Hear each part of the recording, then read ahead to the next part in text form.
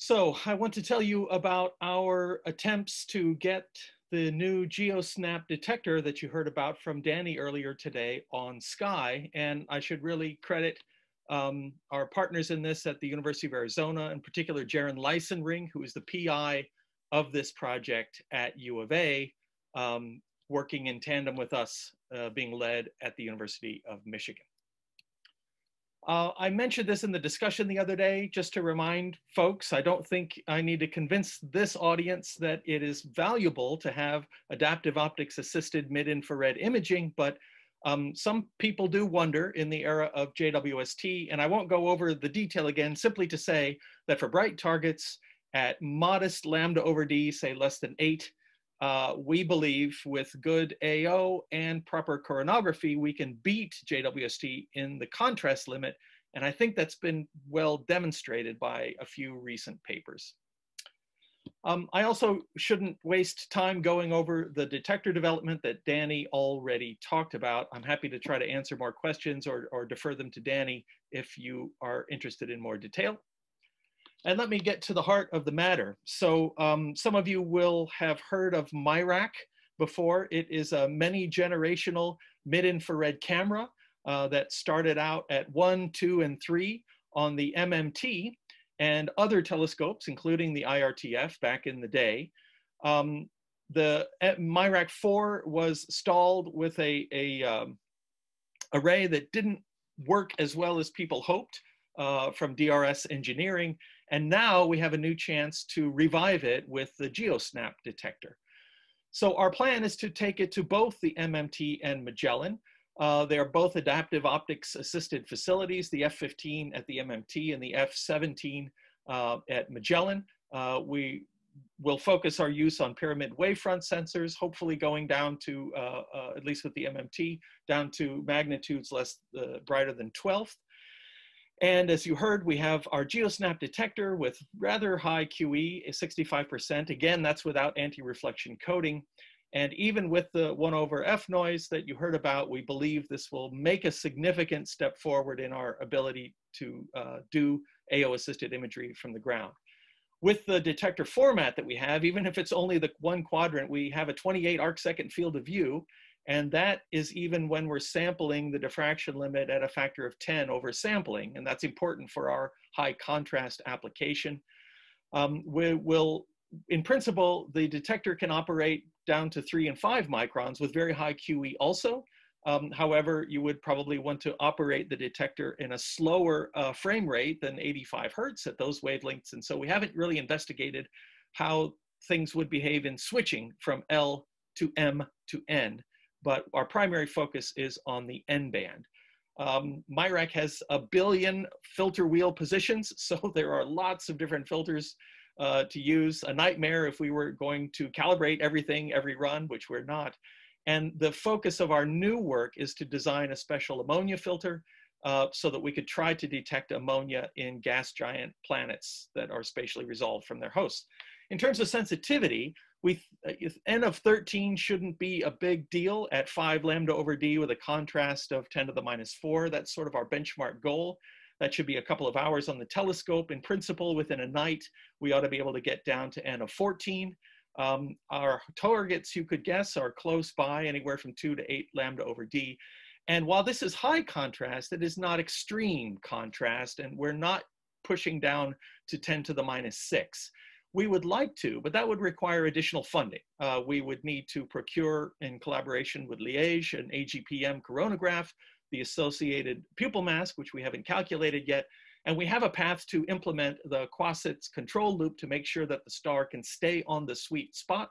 But these are upgrade paths. Uh, we would need additional resources to follow those paths and try to do things like NEAR did uh, to reach contrasts of 10 to the minus 6 or greater at a few lambda over d, say around Alpha Centauri might be a good target.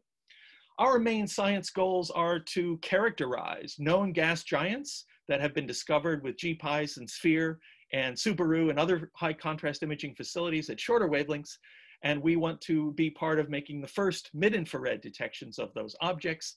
Again, we would like to focus on uh, uh, having a detection of ammonia in the 10 micron spectrum of some uh, gas giant planets This object shown here from Stephens 09 is a mid T dwarf and there is ammonia present and we think we should be able to detect it with a filter photometric technique, although it will be challenging.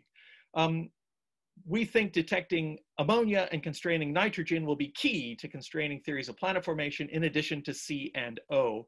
And if we can follow the upgrade path, there are some planets detected with RV where we have a good shot at detecting them in the mid-infrared, as the colleagues with NEAR also tried to do. Epsilon Indi A sub B is a good candidate, and we could also give Eps Eri a go as well. Finding protoplanets embedded in circumplanetary disks and characterizing them I'll just remind that we've discovered some of these things with sphere, with uh, even with NACO in this example, three and five microns.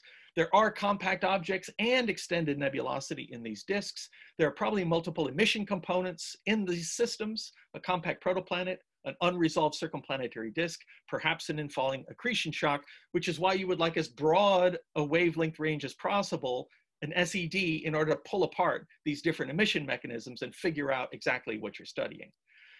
The project is now funded. Uh, when I spoke about this last year, it was not. Uh, we received word from the Heising-Simons Foundation that we're fully funded uh, last winter, and we're moving full steam ahead. Most of the hardware is in hand. The modifications to MIRAC are modest. We've already had the detector in the cryostat uh, last fall, and we have plans to commission on the MMT with the new MAPS adaptive optics system with uh, 336 actuators uh, we are somewhat slave to that schedule, but things look good. Others from Arizona can comment, but there's still a chance we can get on Sky in summer 2021 for commissioning.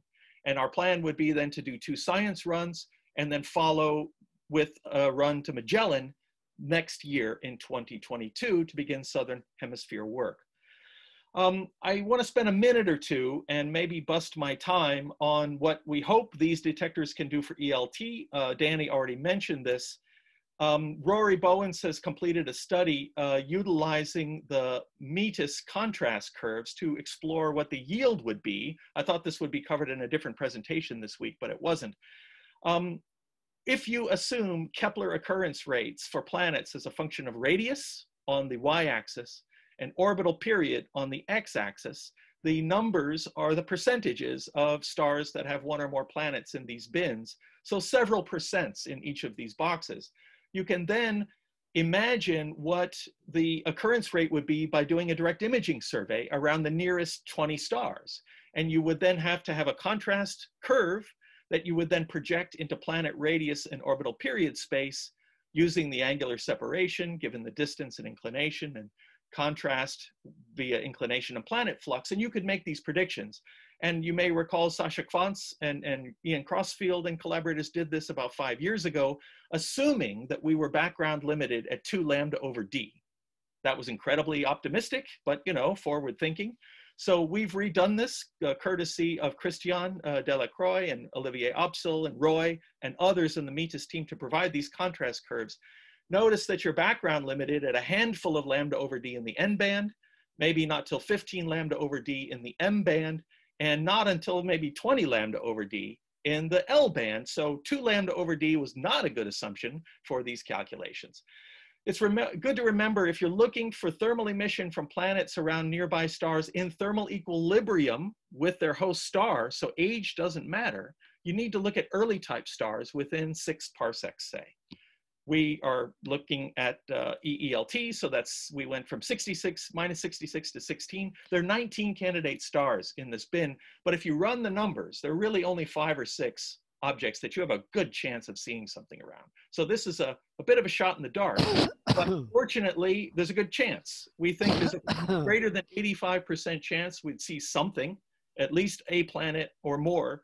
The average, the expectation value is two, and there's a 31% chance something uh, in two or more filters, so we could do a characterization, get a color.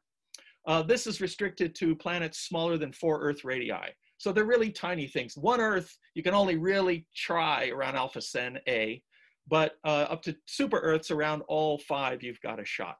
And uh, I think I'm done there, except to say that the far future is to try to do this, of course, in reflected light as well as thermal emission try to look for a greenhouse by solving the radius albedo ambiguity. And that's the real tall pole that we all want to work for in the next 15, 20 years.